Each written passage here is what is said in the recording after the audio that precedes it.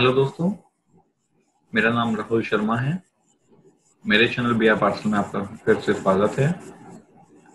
आज की इस वीडियो में हम लोग एन पी टी एल के the joy of computing using Python course में ऑनलाइन कोर्स के असाइनमेंट वन के लिए आज बात करेंगे। तो इस वीक वन के असाइनमेंट वन में कुछ क्वेश्चंस गिवन हैं। उन्हें हम यहाँ पर सॉल्व करेंगे और इस असाइनमेंट को कंप्लीट करेंगे। तो जैसा आपको पता है, यहाँ पर असाइनमेंट वन जिसकी ड्यू डेट 30 सितंबर 2020 11 23 59 टाइम पर है मीन्स रात के 12 बजे तक। हमें इसे सबमिट करना है। तो इसे हम सबमिट करेंगे। तो सबमिट करने के लिए पहले हमारे पास क्या क्या क्वेश्चन हैं? और उनके क्या क्या आंसर होंगे यहाँ हम देखेंगे। तो देखिए दोस्तों, पहला क्वेश्चन है मेरे पास which of the following is true about a computer program तो जो क्वेश्चन है क्वेश्चन कह रहा है कि which of the following is true about a computer program कौन सा इसमें से कंप्यूटर प्रोग्राम के लिए एक ट्रू या ट्रुथ को सेटिस्फाई करता है। जैसे यहाँ पर कई सारे पॉइंट्स हैं। पहला पॉइंट है it is a sequence of instruction कि एक computer program sequence of instructions को डिफाइन करता है। सेकेंड है instructions that are written in simple English देखिए, जब भी हम कंप्यूटर प्रोग्राम की बात करते हैं तो उसमें इंस्ट्रक्शन यूज़ करते हैं, ये बात सही है। लेकिन instruction that are written in simple English ये ज़रूरी नहीं है, क्योंकि यहाँ पर हम लोग प्रोग्रामिंग के हिसाब से कीवर्ड एंड सिंटेक्स का यूज़ करते हैं। There is only one universal programming language देखिए, ये भी एक स्टेटमेंट ट्रुथ नहीं है, क्योंकि केवल और केवल एक ही यूनिवर्सल प्रोग्रामिंग लैंग्वेज नहीं है and it is meant by only software developers ऐसा भी नहीं है कि इसका केवल और केवल पर्पज सॉफ्टवेयर डेवलपमेंट के लिए ही होता है। तो बेसिकली जो एक इसका लिए सॉल्यूशन है it is a sequence of instruction जब भी हम कंप्यूटर प्रोग्राम की बात करते हैं तो वो हमारा एक सीक्वेंस ऑफ़ इंस्ट्रक्शन होता है। तो इस पहले वाले क्वेश्चन के लिए जो हमारा आंसर है, वो फ़र्स्ट पार्ट है। Then question number two question number two में क्या है? Assume you are giving two images each displaying two basic position of setup ठीक है, यहाँ पे हमारे पास दो इमेजेस गिवन हैं और उस केस में जो जो भी डिस्प्ले कर रही हैं, उनकी जो पोजीशन है, वो सेटअप में है। ठीक है identify the set of commands to perform an exercise with both images तो हमें यहाँ पर आइडेंटिफाई करना है, क्योंकि यहाँ पर जो पोजीशन दी है, वो किसके? सेटअप्स की टू बेसिक पोजीशंस को डिस्प्ले किया जा रहा है। तो हमें आइडेंटिफाई करना है सेट ऑफ़ कमांड्स को जो परफॉर्म करें एक्सरसाइज को विद बोथ इमेजेस तो जब हम इस तरह की बात करते हैं बेसिकली हम इस असाइनमेंट में स्क्रैच का यूज़ करने जा रहे हैं जो एक लैंग्वेज है जिसके थ्रू हम अपने कोई भी एक छोटे मोटे प्रोग्राम्स को बनाने के लिए यूज़ में लेते हैं। ओके okay, सो so, जब हम यहाँ पे बात कर रहे हैं दो इमेजेस की तो उस केस में हमारे पास वो जो दोनों इमेजेस हैं शो करेंगे यहाँ पर हाइड एंड शो ऑप्शन को पहली इमेज अगर मैं सेटअप्स की बेसिक पोजीशंस की बात कर रहा हूँ डिस्प्ले कर रहे हैं तो उस केस में हम दोनों इमेजेस के साथ हाइड और शो का ऑप्शन यूज़ करेंगे okay okay? And the third point is, third question is, choose the where choose the best command to be used at the start of your code. तो हमें यहाँ पे क्या बताना है? बेस्ट कमांड जो हम कोड के स्टार्टिंग में यूज़ करने जा रहे हैं. To locate the spread at an initial position every time you play the animation तो देखिए ये जो हमें काम करना है ये हमें स्क्रैच पर काम करना है. ठीक है ना? जिसके थ्रू हमें ये बताना है कि हम यहाँ पर किस तरीके से जब हमें उसकी बेस्ट कमांड बतानी है कब कोड के स्टार्ट में हम यूज़ कर रहे हैं। ठीक है ना? और क्या कर रहे हैं? Initial position every time you play the animation के केस में उसकी लोकेशन को डिफाइन करना है। तो देखिए, इस तरह के केस में जब हम इसमें क्वेश्चंस का आंसर यूज़ करते हैं तो हमारी उसकी जो वैल्यू है, उसके अकॉर्डिंग हमारा काम होगा। तो यहाँ पर जो आंसर होगा to value and set y to value तो यहाँ पर हम इस तरह की जब हम लोकेशन के लिए लोकेट करने के लिए यूज़ कर रहे हैं तो उस केस में उस एक्स की वैल्यू को सेट कर देंगे। ठीक है? चेंज नहीं करेंगे और ना ही पॉइंट की डायरेक्शन को डिफाइन करेंगे, बल्कि यहाँ पर केवल और केवल उसके लिए जो बेस्ट कमांड है, वो है set x to value and set y to well okay and then question number four question number four देखेंगे हम लोग. तो क्वेश्चन नंबर फोर में assume the sprite is sprite is a wall and predict the output of the following control structure. देखिए sprite से meaning है कि हमें एक एज्यूम करना है कि कोई एक स्प्राइट जो है, वो एक बॉल है. And predict the output of the following control structure तो हमारे को जो स्ट्रक्चर गिवन है, जो यहाँ पर दिया हुआ है, इस स्ट्रक्चर के लिए हमें ये डिफाइन करना है कि इसका आउटपुट क्या आएगा। तो देखिए, यहाँ पर आप एक तरह से देखिए रिपीट करना है ten times glide one second to random position तो हर एक सेकेंड में रैंडम पोजिशन को यूज़ में लेंगे और रिपीट कब तक करना है? टेंथ पोजिशन तक। तो देखिए the ball glides to random position in one second ठीक है? एक तो ये है the ball glides to ten random position बिल्कुल, क्योंकि हमें टेन टाइम्स रिपीट करना है। Taking one second to reach it each position और देखते हैं third point the ball glides to a random position and wants there for ten second and the fourth one is the ball glides to ten random position within one second तो देखिए इन सब में जो answer हमारा हमें जो use में लेना है वो इस इस वाले आ, इस कंट्रोल स्ट्रक्चर के लिए जो आंसर है वो हमारा रहेगा कि the ball glides to 10 random positions taken 1 second to reach each position क्योंकि यहाँ पर टेन रैंडम पोजिशन चलेंगे क्योंकि रिपीट कर रहा है टेन के लिए और हर वन सेकेंड बाद वो क्या होगा? रैंडम पोजिशन को यूज़ में लेगा। ओके तो ये फोर्थ क्वेश्चन हो गया। Next fifth number fifth number में हमें क्या करना है? Pick the step that helps the sprite to find the factorial of 5 as output. हमें क्या बताना है? फैक्टोरियल ऑफ़ 5 एज आउटपुट ठीक है, अब क्योंकि देखिए फैक्टोरियल जब n की बात करें, यहाँ गिवन है फैक्टोरियल ऑफ़ n बराबर one into two into three into n minus one into n तो नॉर्मली यही होता है फैक्टोरियल फाइव के फैक्टोरियल की बात करें तो one into two into three into four into five तो अब हमें उसे यूज़ करने के लिए हमें यहाँ बताना है कि वो कौन सा प्रॉपर आउटपुट निकालने के लिए हमारे पास एक फिगर है या फिर एक कोड है तो हमें यहाँ पे ये फाइंड करना है। तो देखिए, अगर मैं स्टार्ट करता हूँ पहले वाले पॉइंट से तो इस वाले में देखिए सेट यहाँ पर हम देखेंगे इसे। पहली बात तो फैक्ट नाम का एक वेरिएबल वन से डिक्लेयर होगा काउंटर भी वन से किया। फैक्ट जो counter is greater than five तब तक रिपीट करे, ठीक है ना? रिपीट करते हुए process until counter is greater than five तो सिंपल सी बात है, जब counter is greater than five की बात हो रही है और यहाँ पे काउंटर की वैल्यू वन है तो कंडीशन यही फॉल्ट होती है। तो उस केस में फैक्ट की जो वैल्यू है वन ही रहेगी केवल। तो इसका मतलब ये प्रोग्राम तो हमारा हो ही नहीं सकता। ठीक है? अब नेक्स्ट को देखें अगर। तो नेक्स्ट हमारे पास जो ऑप्शन है, वो ऑप्शन यहाँ गिवन है।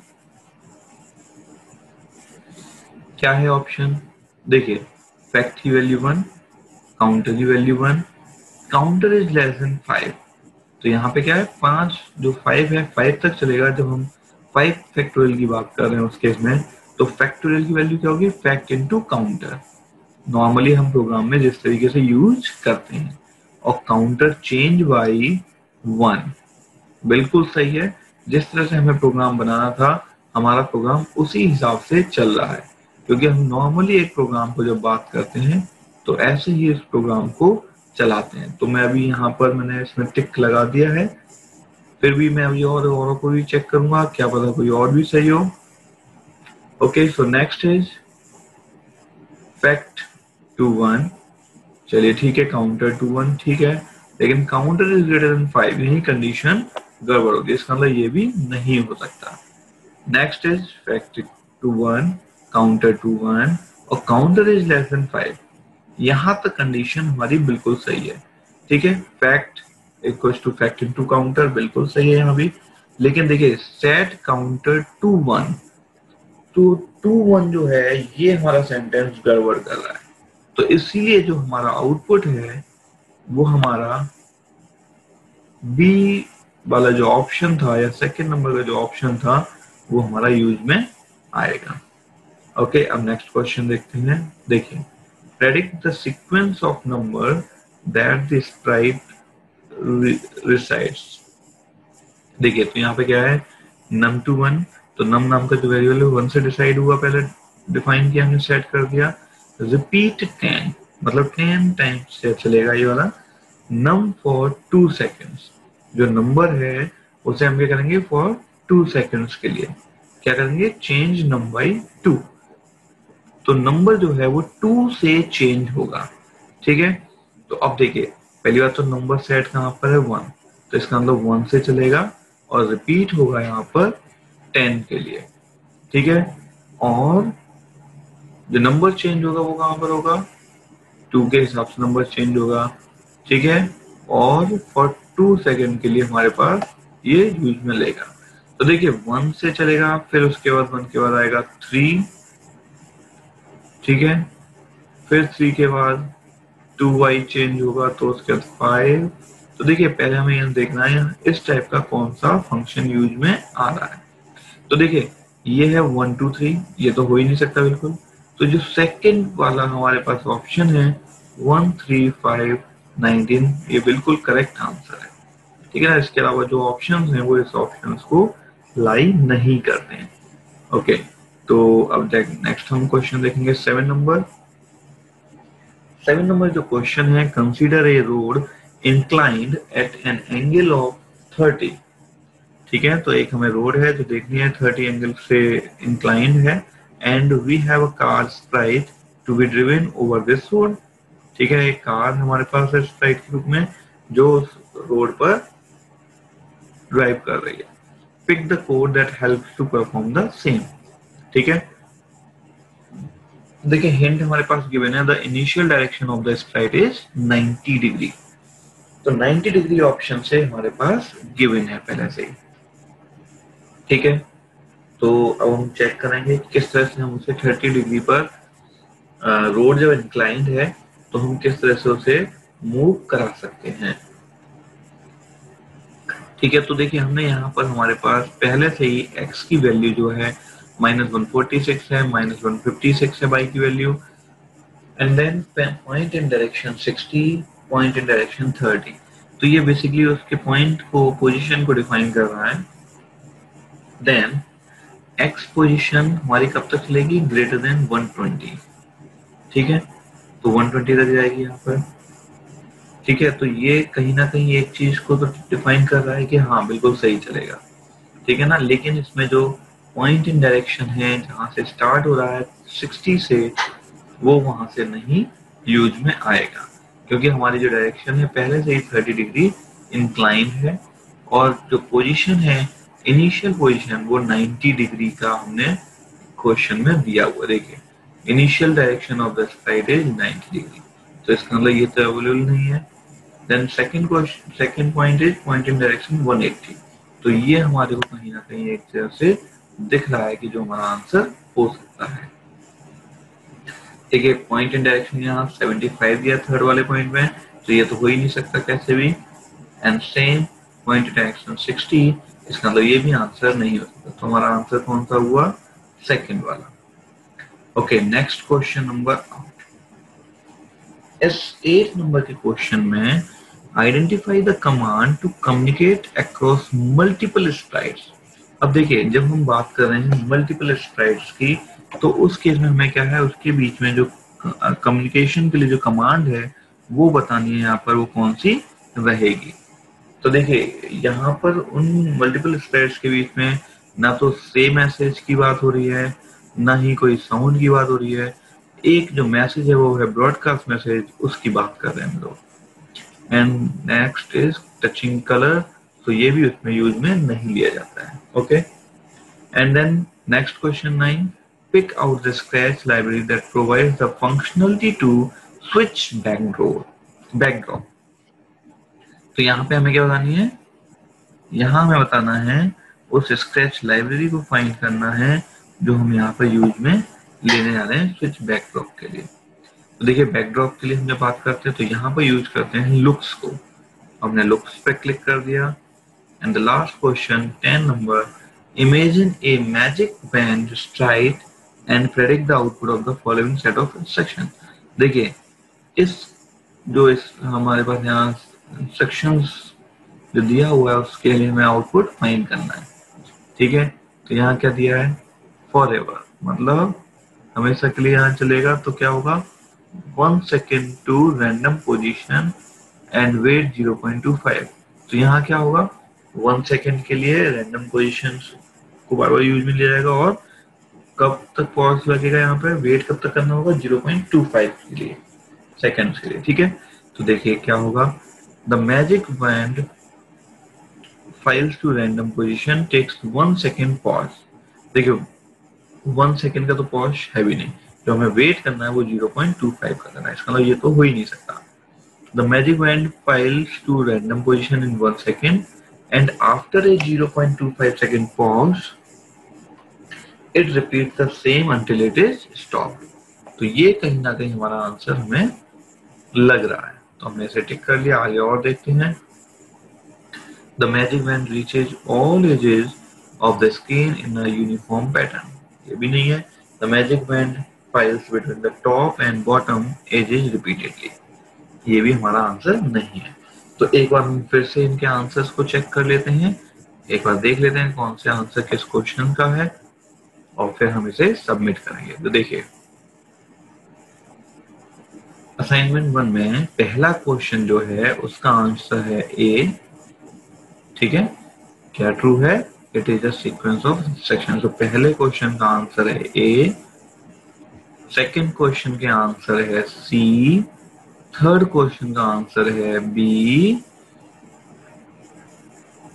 नेक्स्ट फोर्थ नंबर के क्वेश्चन का जो आंसर है, फिर से बी फाइव नंबर के क्वेश्चन का आंसर भी हमारा बी ही है. देन सिक्स नंबर का क्वेश्चन देखिए सिक्स नंबर के क्वेश्चन का आंसर भी बी है. सेवन नंबर के क्वेश्चन का आंसर भी हमारे पास बी ही होगा। एट नंबर के क्वेश्चन का आंसर क्या है? सी और नाइन नंबर के क्वेश्चन के आंसर का भी जो आंसर है वो है सी और टेन नंबर का क्वेश्चन का आंसर बी है।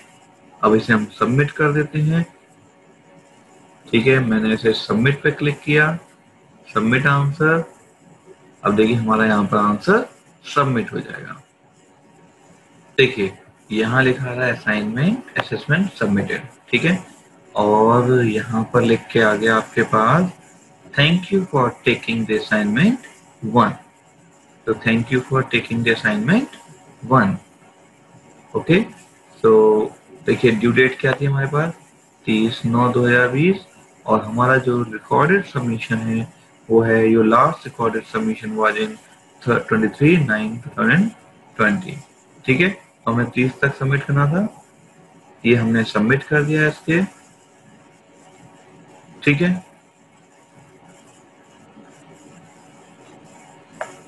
ओके दोस्तों तो आज के वीडियो में इतना ही। अगर आपको मेरे वीडियो मेरा वीडियो अच्छा लगा हो तो आप इसे लाइक शेयर कमेंट ज़रूर करें। जिससे कि हम आगे आने वाले वीडियोस को और आप के पास तक पहुँचा सकें। Thank you thank you very much